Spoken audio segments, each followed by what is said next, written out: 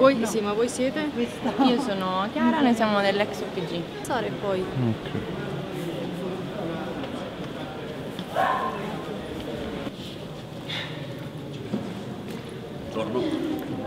Allora, buongiorno a tutti. La prima cosa che vorrei dire è che è la prima volta che mi capita di poter vedere di persona un ministro, perché normalmente quando ci avviciniamo ai palazzi in cui ci sono iniziative e sono invitati membri del governo,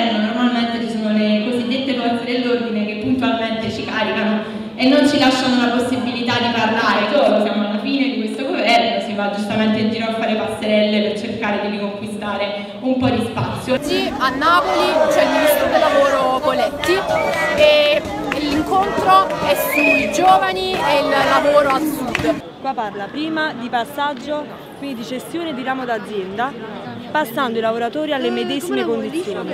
Alla fine del foglio, qua, parla di contratto Ampit Cisal. Quindi non sono le medesime condizioni, tu ci stai mettendo in una situazione in cui abbiamo, avremo un contratto di lavoro che non garantirà nulla. Allora, un lavoratore di Napoli sotterranea vorrebbe parlare col ministro Poletti. E allora vengo subito al dunque, la testimonianza che io voglio dare è proprio un po' di bilancio di questo governo. In tutte le televisioni sentiamo eh, appunto deputati, membri del governo che parlano dei grossi risultati no, mondo del lavoro, si parla di un milione di posti di lavoro in più. Questi posti di lavoro, grazie a Giornate e al decreto Poletti, sono posti estremamente precari, su 10 contratti si calcola che uno solo a tempo indeterminato e 9 sono precari.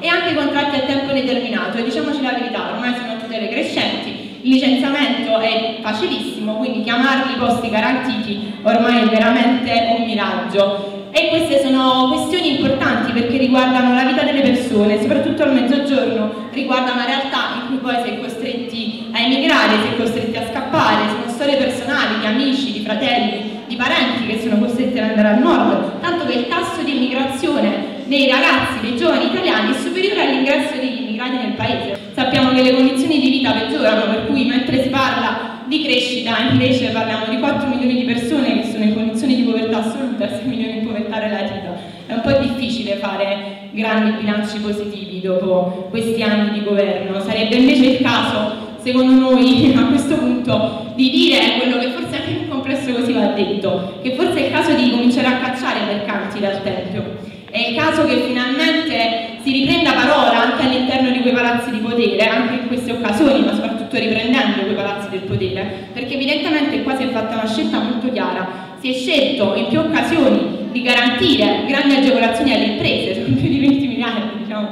grazie agli sgravi fiscali, ed invece di andare completamente ad attaccare quelle che erano le tutele dicendo che era il modello tedesco che dovevamo in qualche modo imitare. Peccato che anche là persino l'Ocse ci dice che non è con la precarietà che si costruisce l'occupazione, anzi che il mercato italiano in realtà era già più flessibile persino di quello tedesco e non lo dice la parte internazionale, lo dice l'Ocse.